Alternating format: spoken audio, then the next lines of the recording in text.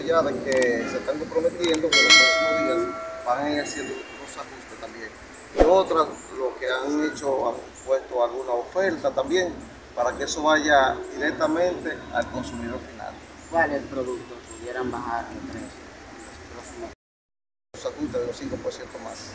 Eh, nosotros eh, esperamos, ya que los precios internacionales, tanto flete como la apreciación del peso ante el dólar, estamos dando chance a que ellos vayan haciendo sus ajustes en su inventario y tan pronto ya agoten ese inventario, eh, nosotros esperamos también esa parte de su ajuste para que el consumidor final pueda beneficiarse. arroz, eh, salsa, espaguetis, también pudieran bajar de precio? Sí, usted sabe que en cuanto a los productos agrícolas, el gobierno da un subsidio en cuanto ya lo que son los productos del arroz, eh, hay varios productos, por ejemplo como el ajo ahora mismo que se encuentra a un precio de 40, 50 pesos y hay una, los precios agrícolas se han mantenido eh, eh, estables y los precios también que nosotros, los productos que nosotros comercializamos también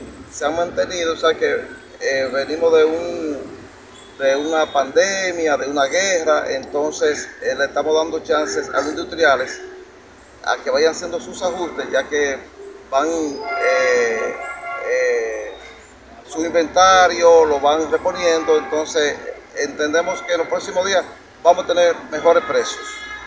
Otro.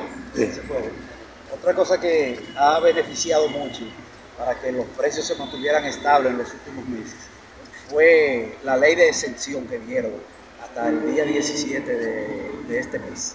Es importante y les pedí por superior gobierno para ver si es posible que esa ley pues se pueda extender hasta el 31 del mes de diciembre porque hay muchos productos que están en agua, otros que están pedidos, pero no van a llegar antes de esa fecha.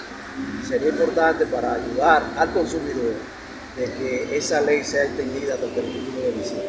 Pero se dilumbra un año, según el gobernador del Banco Central, se dilumbra un año con muchos problemas en el mundo por la guerra de Ucrania y los conflictos que hay de esa guerra.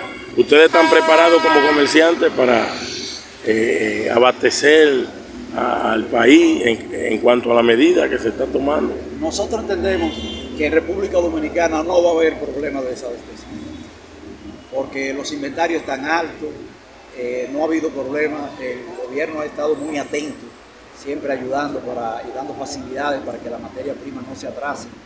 O sea que nosotros entendemos que en República Dominicana no hay problema con eso, la ciudadanía puede estar tranquila de que producto habrá siempre, producto habrá siempre, y muestra de eso es que el costo de la vida en República Dominicana, cuando se compara con cualquier otro país de la región, inclusive del mundo, es donde más barato están porque se ha actuado rápido. Y también la producción agrícola, aunque tuvo ahora eh, cierto problema con el huracán, pero se, ha habido muy buena producción agrícola, el tiempo ha estado de nuestro lado y entendemos que los productos agrícolas pues se puedan mantener a precios asequibles para consumir. Hay una superproducción con los huevos y el problema de Haití no está entrando la mercancía necesaria. Es decir, hay mercancía que antes los haitianos la compraban y se la llevaban, que hoy quedan en los almacenes, en la góndola.